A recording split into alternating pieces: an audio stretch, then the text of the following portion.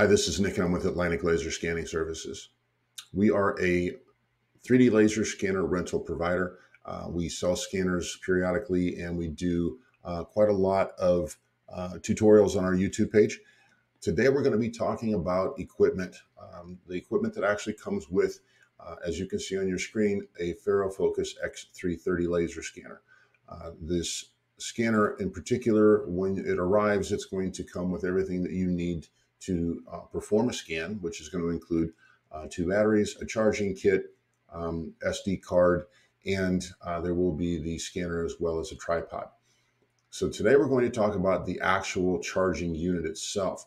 Uh, the charging unit, as you can see on the top of the screen, uh, is going to have a, um, a deck that we're going to slide a battery into and the actual charging kit. So there is a particular type of plug that's involved with this kit, and we're going to touch on um, how that works and why this is important.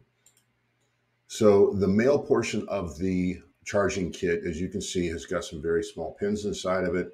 It's a, uh, a sort of an odd circular plug. And at the top of the plug, you can see uh, the small notch, um, which is a guide of the way to rotate and plug that uh, circular plug into the receptacle. Uh, here's a picture close up of the receptacle. It's got the holes for the pins. And as you can see on your left, there is a small notch, uh, and that is where the notch from the plug uh, is going to line up so that you properly plug the power into the charging deck. If this is done incorrectly, uh, you will end up with the pins fried off of the plug and the actual receptacle will fry as well. So what we're going to do today is just go through a simple tutorial on how to properly uh, put all this charging system together. And that way it will avoid heartache going down the road and time spent in the, uh, in the field trying to charge your batteries while you're scanning. So the actual scanning charging system that comes with the X330 scanner comes in two parts. We've got a charging deck and we've got your sort of standard looking charging uh, pack that plugs into the wall. What we want to address today is how to properly plug the male portion into the receptacle of the charging deck. Now the charging deck itself, very easy. You've got a uh, battery for the X330. The front of the charging deck here, you can see the pins, and you can see on the battery where that would slide into and you can see even without being plugged in, it will give you a registration of what your charge is on the battery. That part seems to be easy. What we want to address today is how to properly plug these two things in. Now this goes for any of you out there that have got a Faro Focus uh, S120. Uh, they've got some S30s I still think still running around out there, or 20s, and, uh, and obviously the X330. You can see in the male plug, there are some pins inside of the plug portion, and there is a receptacle with pin holes inside it on this.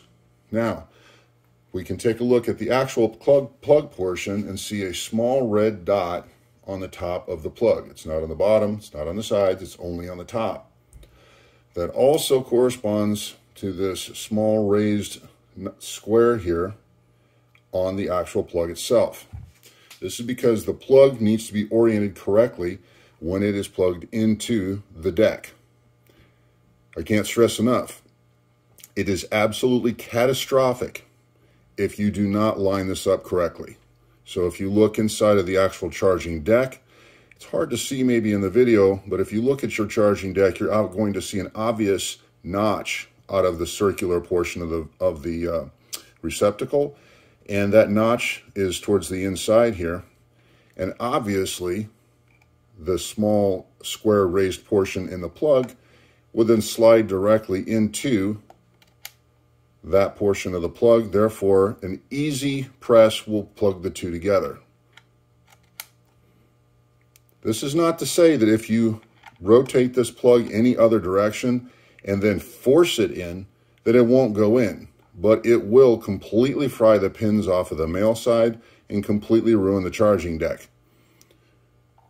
These two pieces to be reordered from Faro are just under 11 just under $1200. Everything that leaves Atlantic Laser Scanning is tested prior to being shipped out to our customers. A lot of times we're actually using the charging deck and system that is included with the scanner before it leaves to charge the batteries in that scanner. So just remember, taking a little extra time to plug this in correctly can save you just about $1,200 in replacement cost and time in the field when you don't have the ability to charge uh, an extra battery while you are out charging in the field. Thank you and good luck.